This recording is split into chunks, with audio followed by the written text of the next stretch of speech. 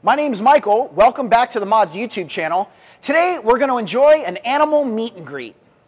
Hey, welcome back. We're here with Alina, our animal handler. Alina, you've got a much different animal than usual. What do we have here? Today I have Scarlet the Crested Gecko.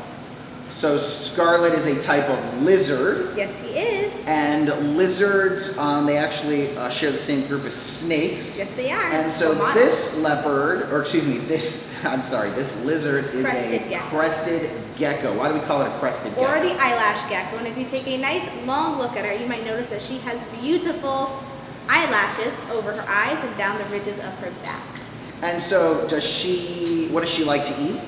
She is an omnivore, so she does love to eat her fruits or her decaying fruits and vegetables, but she also eats insects as a big part of her diet. So something as, as a kid that I would do, I would try to catch them, and sometimes I would miss, and I'd actually grab the tail, and the tail would just fall off. Why is that? Certain species of lizard are actually able to completely disconnect the nerve and the bone of their tail and drop it, and that is a defense mechanism. Essentially what the tail will do is the muscles will spasm and it will distract the predator to eat the tail instead of the lizard. Now most lizards are actually able to uh, eventually regenerate their tails, but it won't be bone anymore, it will be cartilage inside of it. So when the tail would fall off and just wiggle all over the floor, they thought I would just eat the tail and then let the, lizard. okay. It's a lot easier to eat something that's sitting still than something that's running. Okay, I understand that. And so as far as they go, I, I always see lizards sitting in the sun. Mm -hmm but I, on a like cold day, I don't ever see them. Why is that?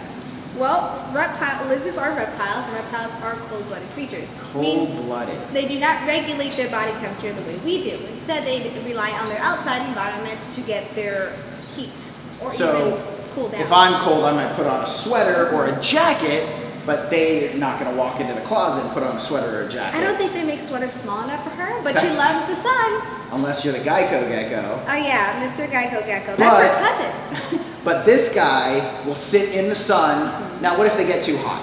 Eventually they'll go for cover. Now she comes from a little island called New Caledonia. It's right off the east coast of Australia.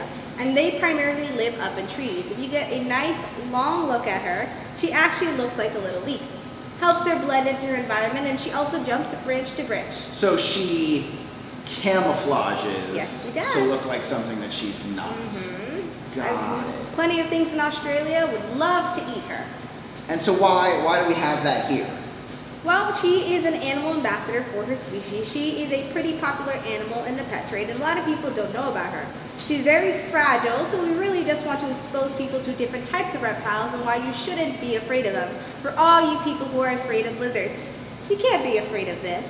She is quite cute. Mm -hmm. All right, well, thank you for bringing Scarlet with you today, and we'll see everybody next time. Have a good one. We want to thank the Batchelor Foundation for sponsoring this video today, and make sure you subscribe below.